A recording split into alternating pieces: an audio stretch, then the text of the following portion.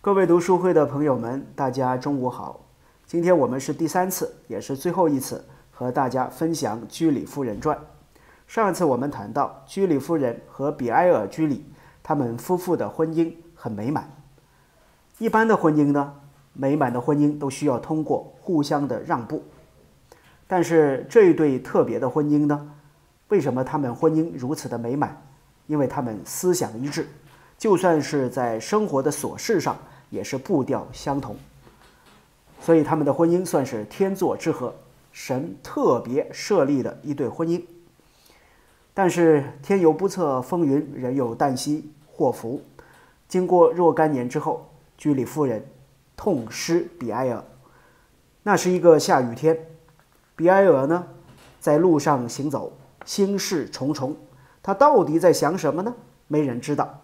或许他在想实验室里面还没有完成的工作，或者他在想家里的琐事。这对我们来说是个谜，我们没人知道他在想什么。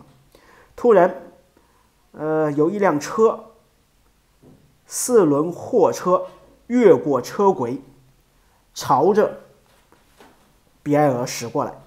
比埃尔呢，想要穿过马路到对面的人行横道上去。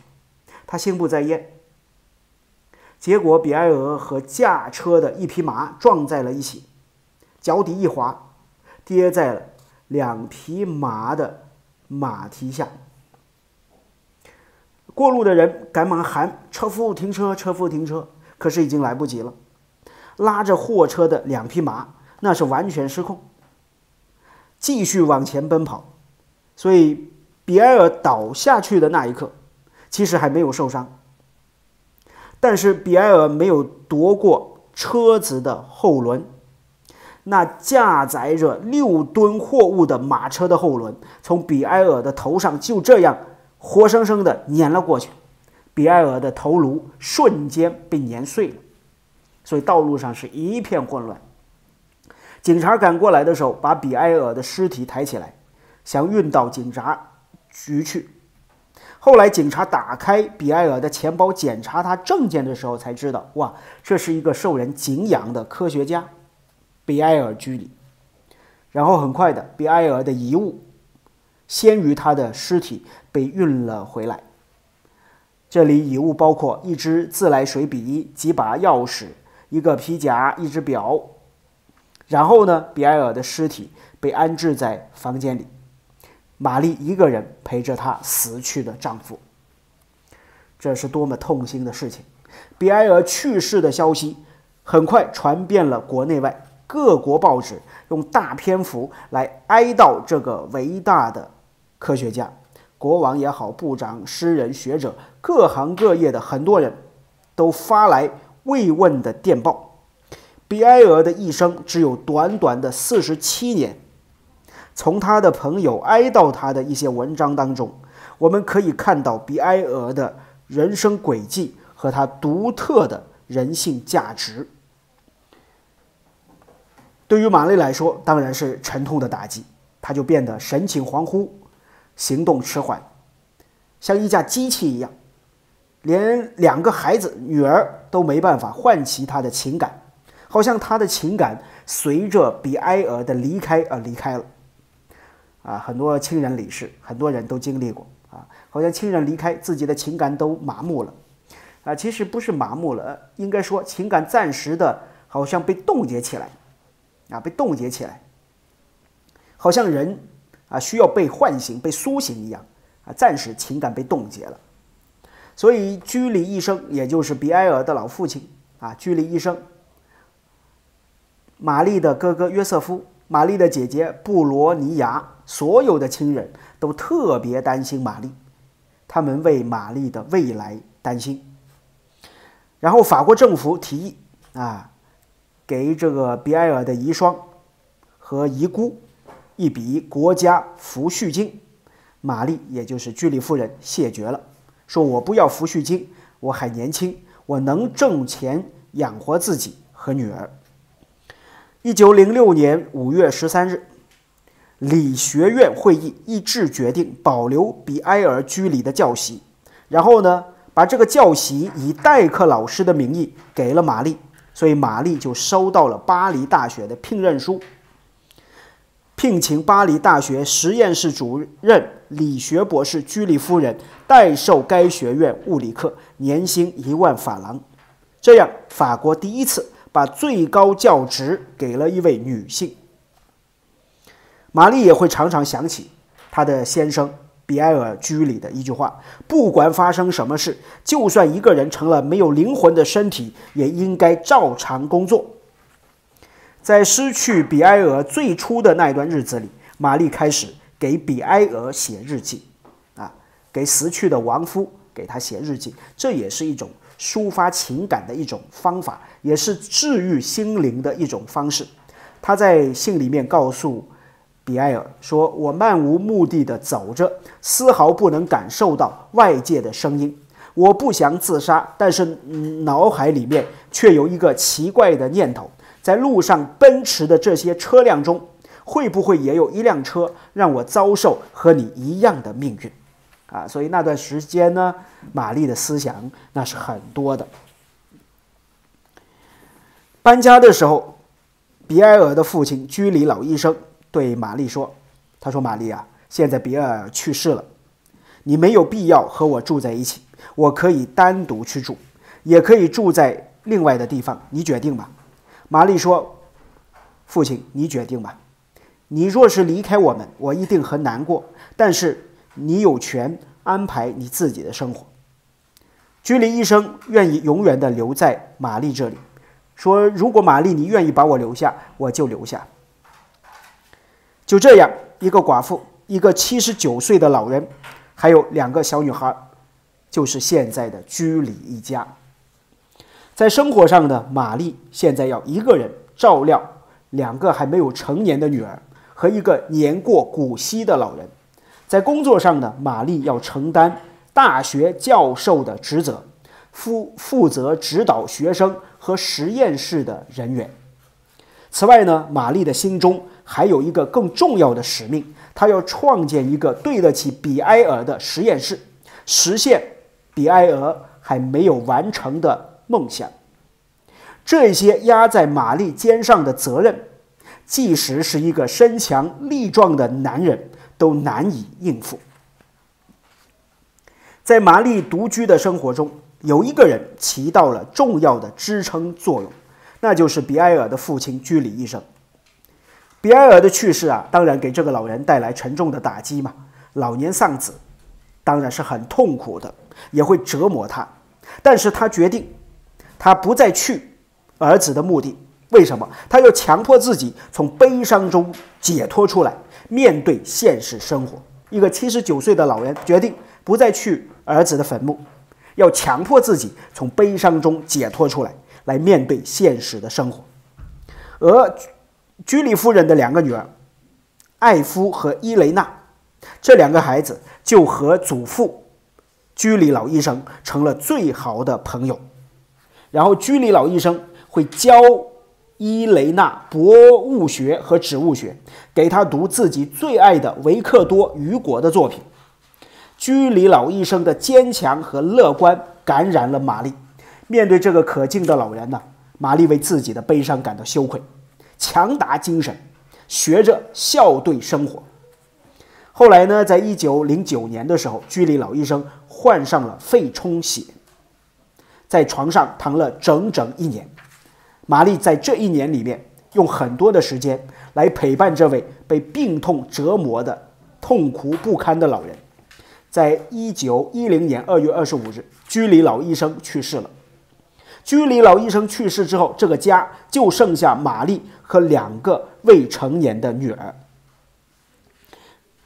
在这个过程中，玛丽还每天在笔记本上做笔记，详细的记录着伊雷娜。大女儿在数学上的天赋和次女艾夫居里在音乐上的天分。居里夫人呢，并不赞成学校的教育体制，他认为孩子们正处在活动和玩耍的年纪，把他们长时间的关在教室里，那是不可取的。那怎么办呢？居里夫人就和巴黎的同事们开创了一种新的教育方法，他们把自己的十几个孩子聚在一起，亲自。教授他们功课，啊，有一位教授负责化学，另外有一位呢负责数学、文学、历史、外语，都有专人负责。每个周四的下午，在理化学校一间废弃的教室里，玛丽负责教授这些孩子们物理学课程。但是两年之后，这种集体教育的方式被迫终止。一是因为这些巴黎大学的教授们都太忙了，实在抽不出时间继续这个教学计划；二是孩子们要参加中学会考，必须开始学习正规学校的课程。玛丽把伊雷娜送到了一所名为塞维尼埃的私立中学。塞维尼埃学校的教学时间和公立学校相比要短得多。玛丽不用担心伊蕾娜没有时间去做自己喜欢的事情。除了功课，玛丽还非常关心伊蕾娜和艾夫的身体状况。做完功课之后，玛丽总会抽出时间陪女儿们进行体育活动。啊，她在花园里面安装了吊环、钓竿和滑绳等等运动的器材，以便让两个女儿。更好的锻炼身体。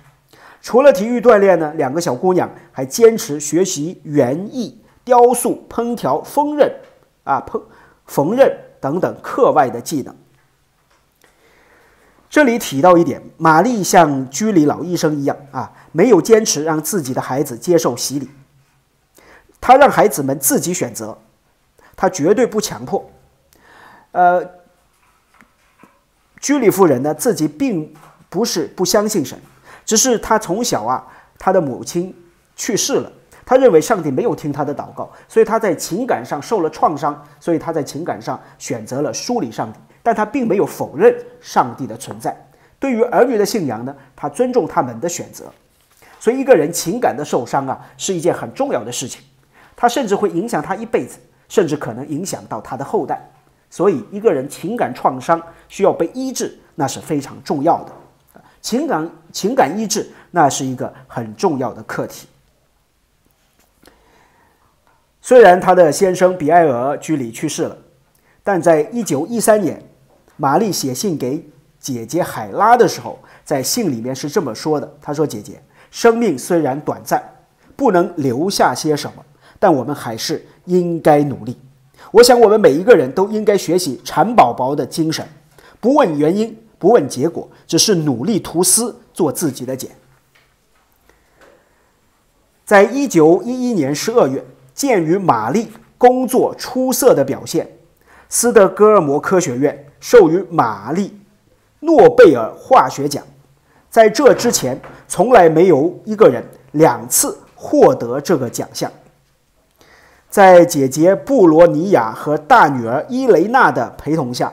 玛丽参加了这一次的颁奖仪式，站在人群中看着台上的母亲领奖的伊雷娜，不会想到二十四年之后，她也获得了这一殊荣，像母亲一样站在了科学的最高点。但是面对荣誉呢，玛丽从来都是不屑的态度。荣誉虽然带给她声望，但是她不稀罕。可是荣誉也给他带来了诽谤和污蔑，这使玛丽有更充足的理由来憎恨荣誉了。啊，人总是这样。一九零九年的时候呢，巴斯德研究院的院长罗大夫决定在自己的研究院为玛丽创建一个实验室，条件是玛丽要离开巴黎大学，来巴斯德研究院工作。而巴黎大学不愿意放走玛丽，于是就和巴斯德研究院达成协议，双方各出资四十万金法郎，用来创建雷研究院。雷研究院在建的时候，玛丽常常在工作的间隙跑到工地上去。对于研究院的建设，玛丽是提出了很多的要求，比如要求房子宽敞明亮啊，有硕大的玻璃窗啊，让阳光可以照进来。另外，也要求安装上升、那升升降那个电梯啊，他都有要求。玛丽把所有的心思都用在了这座建设中的实验室上，他希望这座实验室。能够用上三十年、五十年，甚至他离开人世的时候，他的学生还可以在这个实验室中继续进行他们的工作。他也希望这是一座对得起比埃尔的实验室。在一九一四年的夏天，萨拉热窝事件爆发。什么叫萨拉热窝事件呢？就是一九一四年六月二十八日，奥匈帝国皇位继承人腓迪南大公，他们夫妇被塞尔维亚青年普林西普枪杀，这使得奥匈帝国在七月底向塞尔维亚宣战。就成为第一次世界大战的导火索，所以萨拉热窝事件爆发，国际局势就出现动荡。七月二十八日，奥匈帝国在德国的支持下向塞尔维亚宣战，第一次世界大战爆发。这个居里夫人玛丽啊是没有料到国际局势的发展会如此的迅速，她很懊悔把她的两个女儿送离自己的身边，她有点懊悔。但是这一刻，玛丽的心里面只有一个念头，就是要为自己的第二祖国法国服务。她是一位女性，年纪不小，身体衰弱，但是在玛丽的心中，这一切都不是问题。玛丽发现了一个可怕的问题，在所有的前线和后方的医院，几乎见不到 X 光检查设备。自从1895年伦琴发现。X 射线以来，X 光检查设备在医学中发挥了巨大的作用。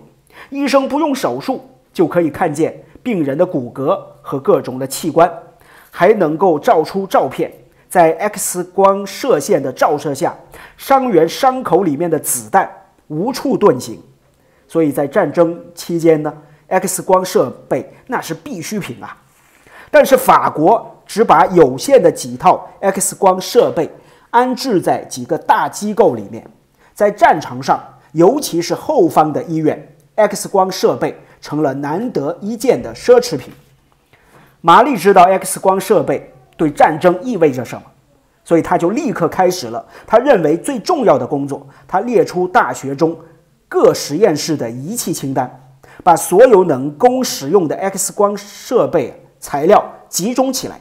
在一些教授学者的指导下，很多的工厂就开始制造 X 光设备。玛丽把一架 X 光仪器和一个发电机安置在一辆普通的汽车上，用汽车的发动机带动发电机工作，发电机给 X 光仪器提供它所需要的电流，这样 X 光仪器就得以运作。就这样。一个移动的 X 光检查设备就诞生了。玛丽创立的这种移动设备，从1914年8月份开始，在各个医院巡诊，无数的伤员得到救治。战争的局势继续恶化，玛丽开始考虑是应该到布列布列塔尼去和两个女儿会合呢，还是留在巴黎继续工作呢？最后，她做出了决定。她不会丢下她最珍爱的东西，她也不能够把实验室拱手让给敌人。她知道自己留在巴黎还可以守着这些珍贵的实验设备，一旦他离开呢，所有的东西啊，顷刻间都可能会失散。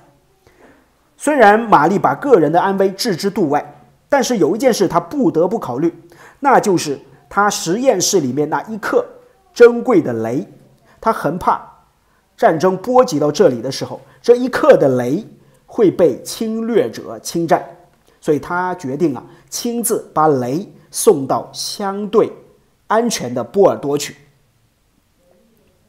终于，最后巴黎得救了，玛丽赢回了分别已久的两个女儿，艾夫回到学校继续学习，伊雷娜大女儿忙着考取护士的文凭。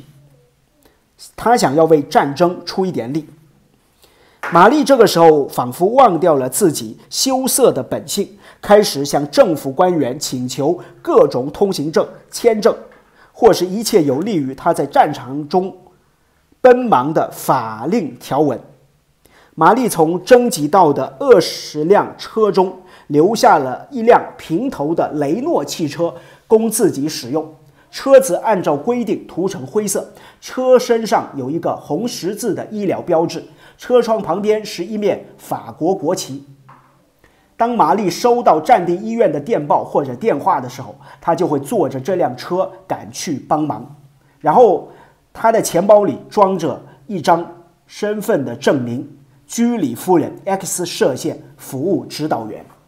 他就这样在各地，玛丽还建立了。两百个固定的 X 光射线室，这些仪器啊，在战争里面救治了超过一百万的伤员。而对于自己的衣食住行呢，玛丽是从来不注意的，忘记吃饭那是常有的事情，随便住在什么地方都行。这个妇人不娇气，不抱怨，她就像一名战士一样。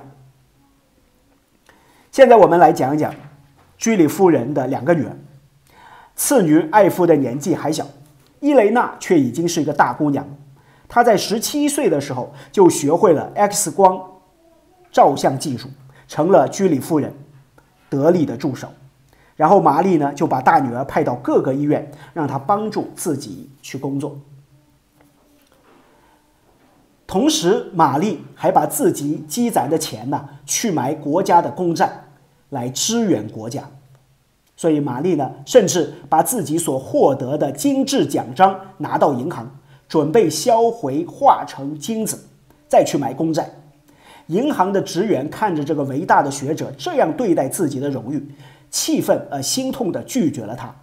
没办法，玛丽啊，只好把这些象征荣誉的奖章带回实验室。一九一五年，玛丽把那一克珍贵的镭。又从波尔多运回了巴黎，送给了一个社气服务机构，用来研究镭对人体的疗效。战争是愈演愈烈，放射科人才是非常的缺乏。玛丽建议政府开办训练班，培养相关的人才，应付战争的需求。所以，玛丽呢就训练出了一百五十个放射科护士。四年的战争啊！玛丽经历了很多的危险和困难的时刻，她在战地医院奔波，丝毫不考虑 X 射线对她身体的影响和摧残。战争终于结束了，玛丽也在实验室听到了停战的炮声。其实这一场的战争啊，干扰了玛丽的科学研究进展，耗尽了她的健康，也榨干了她的财产。面对战后的局面，玛丽。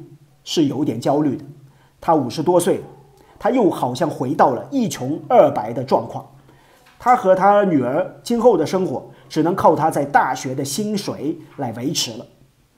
玛丽在战争之前曾经拒绝各种荣誉和奖章，但是如果在战后国家能够颁给他军人骑士等级，相信他会接受这种的荣誉。他在战争里面的表现啊。配得上这样的荣誉，但是玛丽什么也没有得到。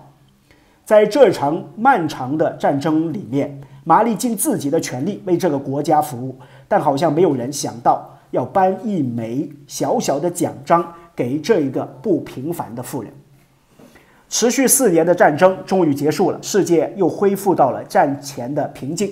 玛丽的科研工作呢，又开始有条不紊地进行。这个时候。德国有一些物理学家想要来见玛丽，玛丽对这些德国物理学家的态度呢，就根据他们在四年战争里面的态度而定的。如果四年的战争里面这些物理学家是反对战争的，那玛丽对待他也比较友好、比较客气、比较有热情。那如果他们的态度啊是比较倾向战争的啊，或者是置身事外的，那玛丽对待他的态度呢，也是。啊，只是礼节上的客气啊，就没有更多的热情了啊。这个是居里夫人她的一个态度。现在呢，伊雷娜已经二十一岁了，是一名大学生了。居里夫人玛丽的大女儿伊雷娜的理想是很简单的，想要像父亲和母亲一样做一名物理学家，而且是专门研究雷的物理学家。伊雷娜性格沉稳平和。她并不因为父母的盛名而想要躲避这个行业，她也从来没有怀疑过自己的选择。那次女艾夫呢？不像姐姐那么坚定自己的方向，她年龄还小。不过居里夫人希望艾夫居里能够做一名医生，研究镭在医疗方面的应用。不过次女艾夫居里呢，好像她的兴趣不在这，她的兴趣在音乐。啊，我们这本书就是艾夫居里的作品，所以每一个孩子都有每一个孩子不一样的潜能。我们不需要强迫。接着，这本书里面又提到，居里夫人现在这个年龄呢，她开始参加了一次有很多名人组合的帆船之旅。在帆船之旅上，那是她很高兴在和平时期享受的一段时光。居里夫人和很多的名人远离喧嚣的地方，然后呢，他们在帆船之旅里面呢，怎么样去游泳也好，怎么样玩也好。积蓄能量，啊，带着充足的能量又返回到工作当中。现在法国政府终于考虑给玛丽一个适当的头衔，以配得上她要去美国接受荣誉的身份。因为美国啊邀请她去，为什么美国邀请她去呢？是提到由美国纽约有一家大型杂志的。承办者麦隆内夫人，她来见玛丽，来见居里夫人，问居里夫人说：“你最想要的东西是什么？”居里夫人说：“我想要一克雷，以便继续我的研究工作。因为现在雷的价格很高啊，太贵了，居里夫人买不起啊。所以麦内农夫人看着这位眼前的居里夫人，心里面是无比的感动。雷是居里夫人。”发现的，他却放弃了依靠专利权让自己过上富裕的生活，毫不犹豫的放弃。所以麦内农夫人夫人呢是非常的感动。他回到美国的时候，就在美国筹募筹钱，然后呢筹钱要给居里夫人能够由钱买一颗雷来继续研究的工作。但是有个条件，居里夫人要去美国啊接受访问。所以居里夫人就准备去美国了。而准备去美国呢，法国政府就考虑应该给玛丽居里夫人一个适当的头衔，配得上她去美国接受荣誉的身份。最后呢，美法国政府啊决定颁一个十字勋章给玛丽，但是玛丽呢再次拒绝了。到了美国，居里夫人的藐视物质、献身科学和服务的精神。深深地感动了大洋彼岸的美国这个国家，在美国面对着应接不暇的欢迎仪式，玛丽是虚弱的不能够站稳，啊，甚至在一次见面会中啊，玛丽的一个狂热的崇拜者和她握手的时候，不小心还扭伤了她的手腕。接着接下来的日子，这位受人尊敬的女学者，就是把手臂啊吊在绷带里，继续她的旅行。而那一年呢，哈定总统在美国白宫把一颗雷就赠给了玛丽。当然了，雷的辐射太强，啊，真正的雷还在工厂里，啊。不过哈定总统颁给玛丽的雷呢，只是一种象征。美国之行让玛丽是疲惫不堪，但是她的心里面很快乐，啊，非常的满足。这份的满足呢，不是对自己圣灵的骄傲，而是认为自己为美国和法国以及美国和波兰的关系做出了一些小小的贡献。现在居里夫人的名号具有非凡的力量，这一点是美国之行带给他的感受。他现在也开始开窍了，要利用这个非凡的名号，他要推动一些计划。玛丽也开始愿意改变自己的观念。用所谓抛头露面的影响力来做出自己的努力。美国之行之后，玛丽拖着虚弱的身体到世界各地出席会议、发表演讲、参观科研机构。她在不停的奔波当中宣传推广着自己的科学理念。居里夫人的名字传遍了世界各地，她个人的声望也达到了巅峰。但是在大家狂风暴雨般的崇拜当中，其实这个女人显得是非常的平静，甚至是孤寂。现在我们要平衡的讲，从严格意义上讲，玛丽居里夫人对女儿们的教育有时候显得是很不够的。这当然和她忙碌的工作是有关系的，不过也不需要她过多的教育，她自己言传身教已经让两个女儿受益匪浅了。那有的时候，玛丽也会遇到一些女性的崇拜者，特别崇拜她，而玛丽总是告诉他们说：“啊，除非。”你们对他们说：“你们不需要把我当成榜样，啊，不要只想着过我这种尤为自然规律的生活才是人生的选择。”居里夫人对他们说：“我之所以把大部分的时间用在科学研究，而不是传统的生活上，只是因为我喜欢科学，喜欢这样的生活。我的生活选择是顺着自己内心的，而不是为了反对一种生活而站在它的对立面。”然后，居里夫人对那些年轻女性来说，她说：“对于年轻女性来说，过一种简单的家庭生活，做一份自己感兴趣的工作，这样就是最好的人生。所以，我们不需要羡慕别人的生活模式。每一个人，上天、上帝的设定都是不一样的。我们不要认为现在是不值得珍惜的，只有未来才是好的。我们千万不要这么想，过好我们自己的生活。”在玛丽的领导下，雷研究院的资金越来越充足。尽管玛丽尽心帮助实验室里面的每一个人，但是实验室里面的每一个人之间并不是常人想象的那样亲密的关系。这和玛丽的个性有关。就算是合作多年的同事，玛丽也一直用“先生”“小姐”“夫人”这样的词语称呼大家。玛丽并不刻意和别人拉近关系，但是她却得到了所有人的爱戴，甚至是她的司机园丁都对她怀着无比崇敬的感情。这个情感含蓄的妇人，用她独有的人格魅力感染着身边的人。在各种力量的帮助底下，放射疗法在法国逐步的发展起来。世界各地的医生都来到法国，学习先进的治疗肿瘤的技术。对于教学工作的玛丽一直不敢懈怠。每一次她走进教室，看到眼前齐刷刷站起来的学生，教了半辈子书的玛丽还是有一种抑制不住的紧张。当然，这和她的学识是没有关系的，是因为她的个性所致。现在我们来谈关于玛丽的最后一段的内容，就是最后的告别。衰老和疾病从来不会放过任何一个人的。早在一九二零年的时候，医生就告诉玛丽，她患上了白内障，有失明的危险。玛丽并没有向她最亲近的人隐瞒自己的病情，而是在第一时间告诉了他们。而玛丽的亲人们帮着他对外界隐瞒病情，他的医生也不例外。玛丽去医院看病的时候，用的是假名字加瑞夫人。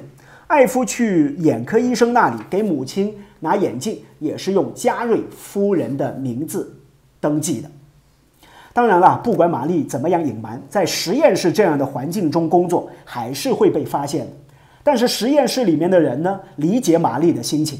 大家虽然知道他的眼睛出了问题，但是并没有说破，而是陪着他一起演这场戏。玛丽不希望自己的生活和工作因为病情受到影响，所以最终做了动手术的念头。一九三零年，她做了第四次的手术。漫长的康复期、康复时期让玛丽是备受折磨。在玛丽漫长的康复期当中呢，支撑她的依旧是对实验室工作的热爱。想到哎呀，要离开自己工作了一辈子的地方。玛丽觉得简直比要她的命还难以承受。每天在实验室的时光是玛丽最快乐的时候。就算没有什么重要的实验，只要站在仪器面前，玛丽也是一副喜悦和专注的表情。玛丽严格的照着医生的指示做着各种复健的活动，最终啊，凭借她顽强的毅力、厚厚的镜片，又恢复了常人的生活。啊，这是一个奇迹。战胜病魔之后的玛丽已经可以很平静地和别人谈论死亡的事情。她也常常说：“哎呀，我知道我自己的时日已经不多了。”等等。到现在，她的先生比埃尔居里去世已经快三十年了。玛丽一直怀着一种无可比拟的热情工作，因为他从比埃尔的死亡看到了生命的无常，所以他要抓紧时间做自己热爱的事情。玛丽轻视疲惫。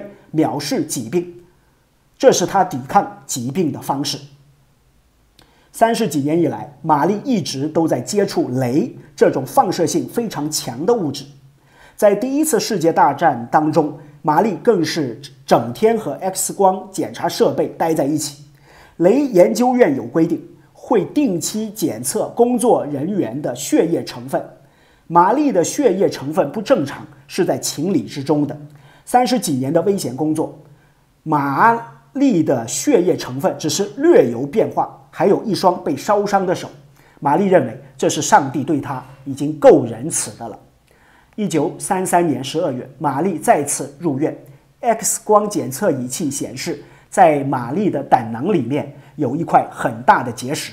玛丽终于开始遵照医生的嘱咐，注意自己的饮食和身体状况了。她的改变多少是一种畏惧心理在作祟，因为她的父亲就是死于相同的病症。那最后的结果如何呢？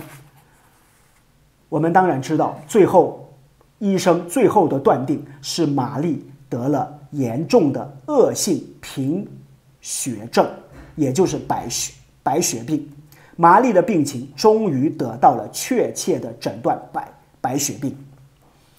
七月三日的早晨，玛丽用颤抖的手拿起温度计，看到上面的度数降低了，她开心极了。在玛丽的心中又升起了对生活的渴望，她觉得自己又可以回到实验室当中过她想要的日子。她甚至做好了离开疗养院的打算。只是所有了解真相的人都知道，这片刻的好转迹象不过是临终前常有的症状，也就是咱们中国人常说的回光返照。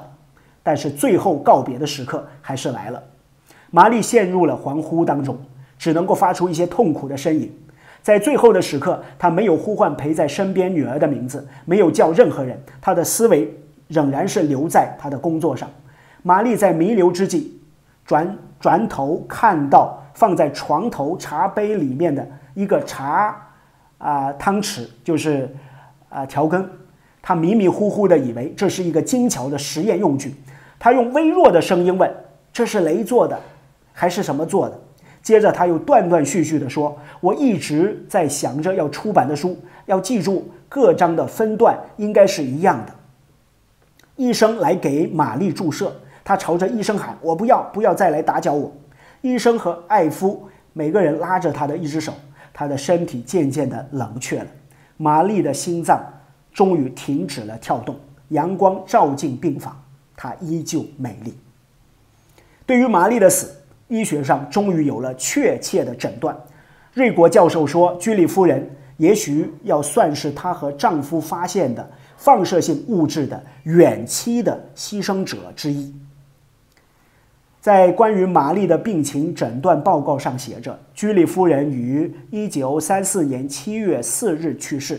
她的病症是一种发展迅速的发烧的再生障碍性恶性贫血，骨髓不起任何反应，大半是因为长期受辐射所致。一九三四年七月六日的下午，居里夫人的葬礼。举行，这是一场安静的仪式，没有演说，没有仪仗，没有政治家和政府官员，只有玛丽最亲近的人陪在她的身边。当人们把玛丽的棺木轻轻地放在比埃尔的棺木上面的时候，布罗尼亚和约瑟夫向墓穴中撒下了一把从波兰带回来的泥土。墓碑上又贴添上了一行新字：玛丽。斯科罗多夫斯卡居里，一八六七到一九三四年，一年之后，玛丽临终前写完的著作终于出版了。在雷研究院明亮的实验室里，科学家们的研究工作依旧有条不紊地进行着。多年前在建这所研究院的时候，玛丽希望它能够在自己离开世界之后依然存在着，给更多的科学家以庇护。现在呢，玛丽的心愿实现了。好，这本书学完了，我们也和大家分享完了。我想没有人会忘记玛丽居里夫人，不仅仅是因为她是一个伟大的学者，也是因为在多年之前，这一对夫妇，居里夫人在非常低又低又矮的棚屋里，居里夫人玛丽曾经见到闪烁着耀眼荧光的雷，他觉得那是世界上最美丽的事物。但是居里夫人不知道，她身上的那些品质也是世界上美丽耀眼的光芒。希望这本书的分享能够给你带来启发，能够激励你，让你知道你的天赋在哪里。不管发生什么，总要把你的天赋做好。祝福你，拜拜。